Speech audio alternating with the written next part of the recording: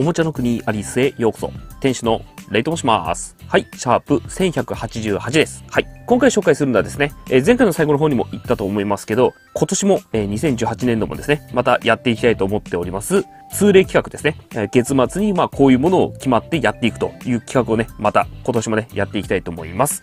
で、今年やるのはですね、セイントクルスマイスとかセイントクルスマイス EX とかでそういうものではなく、以前、アンケートをね、ちょっと実施しまして、それをちょっとね、えー、実際は実行に移せなかった。ちょうどいい企画があったんでね、そちらを、えー、2018年の、えー、通例企画という風にやらせていただきたいと思います。それがですね、えー、SIC、こちらの仮面ライダー電王シリーズ、これをね、ちょっと2018年の1月、これから12月までかけて、まあ、一応私の方で持ってるやつですね。そちらをちょっと順繰りちょっとね、紹介していきたいと思います。で、前回もちょっとね、言ったんですけど、基本的に1ヶ月に2個紹介していくような形となっております。はい。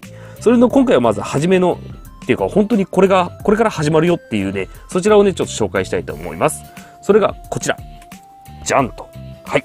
こちらです。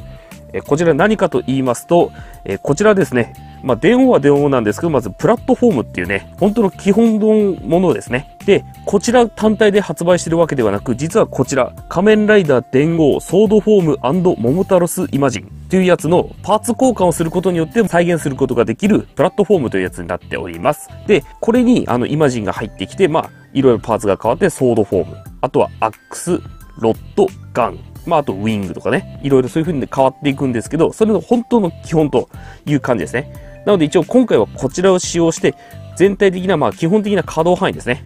で、次回以降、あとはソードフォームとかそういろんなフォームが出た時には、その時の干渉部分ですね。例えば肩がこうゴンとね、大きいのがついた時には、ここの部分が干渉します。とか、頭部もまあ大きいコーナーついたとしたら、それがちょっとこうひねった時に、どこどこが当たるんで、そこ注意ですよ、的な感じでいきたいと思います。なので、基本的な稼働は今回、これをベースとさせていただきたいと思うんで、これ以降ですね、これ以降の稼働範囲の紹介は、まあ、ざっくりしたものになると思っていただければ一番ありがたいかなというふうに思います。それと、一応公開の手食いパーツですね。えそちらに関しても、一応、ソードフォーム、こちらをね、紹介するときにちょっとやりたいと思ってますんで、一応今回はこの平手のみにさせていただきたいと思います。一応、プラットフォームということで、サイドパーツですね。ここのところに何もないのは間違っている状態なので、まあそちらのパーツをね、ちょっとつける準備をしていきたいと思います。で、一応つけるものとしては、まあ、電ガシャです。なんですけど、ちょっとね、あの、つける順番っていうのも決まってるみたいなんで、その場所もちょっとね、お話ししていきたいと思います。なので、ちょっとね、電ガシャ、ちょっとささっとね、準備してしまいたいと思います。はい、パーツの方準備できました。一応先ほどから出ているプラットフォーム、ここの横に置いてある4つですね。1、2、3、4つ。こちらが一応電ガシャという風になっております。で、付け方としては、サイドですね。こちらのサイド部分の、これもともとピン出てるんで、ここのピンのところに差し込みますと。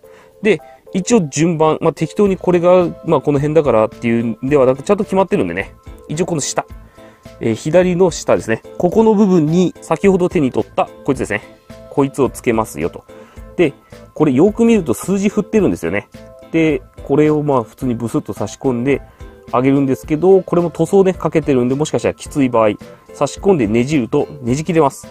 あとはまあ刺す時に折れる可能性があるんで、ちょっと注意が必要ですね。で、ここのところで3って感じで、関数字で3って振ってあるんですよね。で、この上ですね。ここのところに今度こいつです。今度こいつは2って振ってあります。で、これを同じく、まあ、ここに差し込んであげて、こういう風にぶら下げると。で、反対側も同じような感覚なんですけど、今度は下の部分。ここに、この先端がとんがってるやつですね。一応こいつが1って書いてあるんで、1なんでしょう。で、これをここのところに差し込んであげて、こういう感じですね。で、最後に上。ここのところにこいつをつけるんですけど、今度こいつは4ですね。4だと思う。はい。一応こいつをつけていきたいと思います。で、これをそのままね、今までと同じ感覚で差し込んであげれば、これで OK です。ただ先ほどもね、左側つけるときに言いましたけど、これ、きつい時がかなりあるんで、無理してしまうと壊すことになると思います。ただですね、あの、こちらの電ガッシャーに関しては、後々いっぱい出てきます。というのも、えー、ソード、ロット、ガン、アックスということで4つあって、一応こちらに関しては組み替えがあるんで、まあ、ソードと共通と考えても4つあそれ以外にウィングとかね、あとクライマックスフォームっていうのもありますんで、それにね、全部ついてくるんで、まあ、最悪どれか1個なくしてもそこからね、転用すればいいかなと。ただ4人やっぱり全員ざっとね、こう並べたりした時に足りなくなったりすると、それはそれで変になっちゃうんでね、以上なくさない、壊さないっていうのがま前提になるかなという感じだと思います。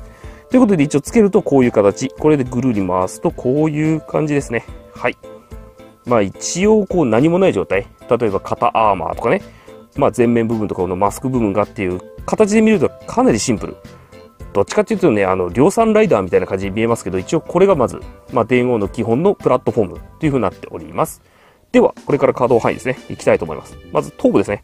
頭部に関しては首と、まあ、首っていうか頭部と首、ここの2箇所でジョイントが入ってる、ジョイントというかね、接続点があるんで、ぐりぐり動かせます。はい、こんな感じですね。で、横も動く、全然問題ないですね。で、上がこんな感じ。で、下がこうですね。下ちょっと苦しいですけど、全然問題なく動かせてます。で、次に腕。以上根元の部分でボール。水平が、まあ、こんなもんかな。で、根元の部分でロールできます。肘は二重関節ですね。ただ、ちょっと狭めなんだよね、これ。これに関しては多分基本的に全部他と一緒だと思うんで、まあ大体こんなもんだと思っていただければいいと思います。で、手首の接続方式が、まあ本当の旧タイプだと、プチンって入れるタイプですね。これは軸ですね。こういうやつです。以前紹介したやつだと、鎧武シリーズ。あれとかと違って、このタイプですね。まあ、 figma 式みたいな感じかな。 figma の第2シーズンみたいな感じですね。で、ここのところで差し込んであげるんで、ここの可動はできるんだけど、上下ですね。これがジョイント式じゃないんで動かないです。で、ここのところにリングはまはまってるね。これの位置調整によって多少変えることもできるという形となってます。一応、左右一緒ですね。ちょっとね、これ個体差によって水平ややりやすかったりやりにくかったりとか結構あるんでね。あとは、ここのきつさ。これに関しても同じですね。ものによっては非常にきつい。そういう時にはもうシリコンスプレーとかちょっと流してあげた方が、まあ、破損防止になるって感じですね。で、ボディが2箇所ですね。胸部とこの腰のところで動かせますよと。こういう風に動きます。足に関しては、こうですね。左右、前後と。で、この根元部分にロールが入ってるんで、ここで動かすことができます。膝に関しても二重関節なんで、こうですね。今ちょっと動かしててみてわかると思いますけど、結構ググッと動くっていうか、あの、スルッと動くっていうのもなんかグイグイグイグイって感じで動くんで、やっぱりここの部分が劣化とか起こってくると多分ここからパキって割れたりする可能性があるんですね。そうなると今度プランプランになっちゃってどうにもならなくなっちゃうんで、あらかじめシリコンスプレーとかで中で滑りよくしておいてあげた方がいいかもしれないです。これバラしてっていうのが多分ね、できないと思うんでね、そういう風にちょっと油でなんとかしてあげた方がいいかな。で、足首も問題なくとりあえず動かせます。つま先も動きますね。足の裏は本当に真っ平らって感じですね。一応これがプラットフォームの基本となっております。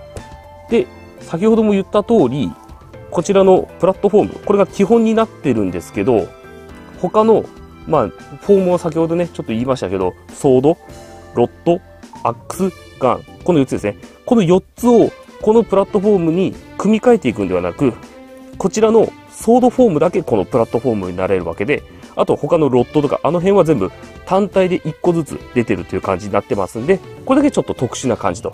まあ最初にね、この状態から初めて変身してソードフォームになったっていうね、それを再現するためのこちらという形になっております。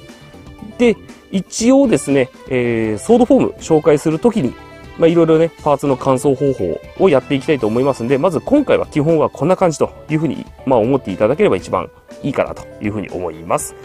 あとはですね、まあ、他に特にないはないんですよね。ただ、こちらの電ガッシャーに関しては、まあこういう風にサイドにぶら下げてるんで、ぶつけてね、壊したりとか、一部こう、ここのところがちょっと外れやすかったりとかするんで、その辺の部分を置いといて、なんかぶつけて落としましたと。で、拾ってみたら、あれ？なくなってるっていうことがたまにあると思いますんで、その辺だけちょっと注意していただければ、まあ、プラットフォームとしてはまこういう感じかな。ただちょっとイメージとしてはなんか劇中と比べて、ちょっとね、ごついんだよね。もうちょっと華奢な感じだったと思うんですけど、ちょっと SIC のアレンジがかかってる関係でね、ちょっとごつめな、まあ、仕上がりとなってると思います。はい。ということで一応今回はここまでという形ですね。一応今後ソードフォーム紹介するときにまあこちらの組み替えとあとはそれ以外に、まあ、電王シリーズをね、2018年はやっていくという形のスタートとなったという感じですね。はい。ということで次回。次回はですね、いきなりライダーじゃなくなっちゃうんですけど、一応ちょっとね、魂ウェブ商店の方で、まあ、受注やってたものですね。まあ、劇中に登場した、切っても切り離せないっていう感じかな。まあ、そんなやつがあるんでね、それをちょっと紹介していきたいと思います。はい。それではまた次回お会いしましょう。バーイ。